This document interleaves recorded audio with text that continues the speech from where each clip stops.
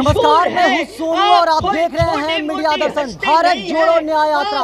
मैं बता दूँ कि रोहतास के सासाराम में राहुल गांधी और पूर्व उप मुख्यमंत्री तेजस्वी यादव पहुँचे हुए थे जो रोड शो करते हुए सासाराम से चेनारी विधानसभा के टेकारी में पहुँचे हुए हैं और कई दिग्गज नेता भी यहाँ पर उनके साथ मौजूद है। आप देख सकते हैं की भारत जोड़ो न्याय यात्रा को लेकर यहाँ पर राहुल गांधी के साथ पूर्व उप मुख्यमंत्री तेजस्वी यादव ने जमकर केंद्र सरकार के खिलाफ और नीतीश कुमार के खिलाफ यहाँ पर निशाना साधा है। साफ़ तौर पे उनका कहना है कि किसानों को केंद्र सरकार जो है शोषण कर रही है।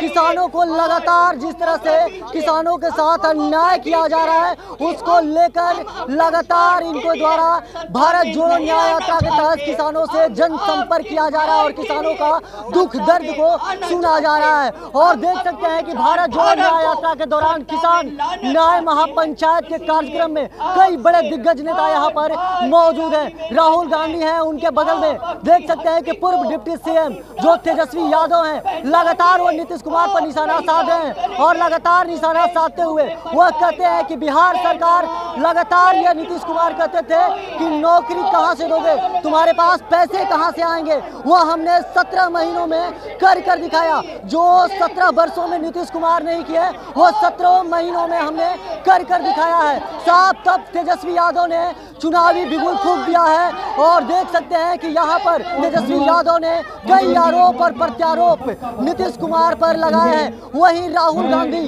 ने साफ़ तौर पे कहा है कि केंद्र सरकार जब किसान की बात करती है, साफ़ तौर पे कहती थी कि किसान को आय दुगना किया जाएगा, मगर किसानों का आय दुगना अभी तक नहीं किया गया। और वह मैं दृश्य दिखाने का प्रयास कर रहा हूँ कि देख सकते हैं कि जन सैलाब उमड़ी हुई है। यहाँ पर तमाम किसान यहाँ पर और कर्जकर्ता यहाँ पर पहुँचे हुए हैं। जय जवान, जय किसान के नारे भी लगाए जा रहे हैं और लगातार इनके द्वारा कहा जा रहा है। देख सकते हैं कि मंच पे साफ़ तौर पे विपक्षियों पे बरस रहे हैं, गरज रहे हैं। वहीं केंद्र सरकार पर जो राहुल गांधी हैं, गरज रहे हैं। वहीं तेजस्वी यादव हैं, लगातार अपने जुबानी जंग से नीतीश कुमार को देख सकते हैं कि किस तरह से कह रहे हैं कि नीतीश कुमार कैसे नेता हैं, समझ सकते हैं। उनका अस्तित्व क्या है, कब अपने वादे से पलट जाते हैं। वह मैं दृश्य दिखाने का प्रयास कर रहा हूँ। जिंदाबाद जिंदाबाद के नारे भी लगाए जा रहे हैं। तेजस्वी यादव जिंदाबाद का नारा लगाया जा रहा है। राहुल गांधी जिंदाबाद के भी